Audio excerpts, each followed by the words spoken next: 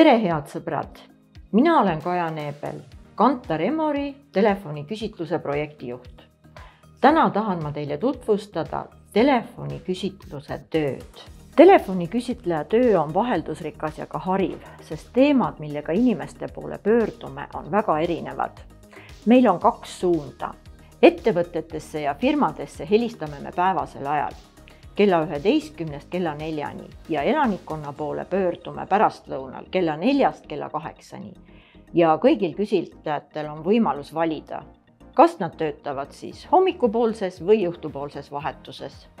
kuna me viime uuringuid läbi kõigi Eestis elavate inimeste seas, on meie jaoks väga oluline iga vastaja arvamus seega me eeldame, et küsitleja on võimeline suhtlema korrektselt ja ladusalt nii eesti kui ka vene keeles.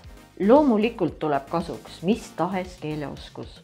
meile sobivad kõik kohusetundlikud ja asjalikud inimesed, nii õppivad noored kui ka tegusad pensionärid. kõik telefonitööks vajalikud teadmised ja oskused omandame me siinsamas kohapeal.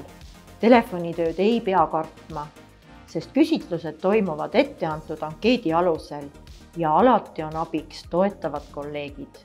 tule ja anna panus meie kõigi elu edendamiseks